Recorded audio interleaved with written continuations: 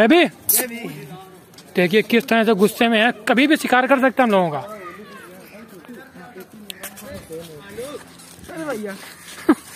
अबे भैया मैं इसका पूरा खाना पचवा दूंगा अच्छा नहीं लग रहा है कहाँ जा रहे हो बार बार ले ले सब बात बहुत बेहतरीन वेड गुड वीडियो शूट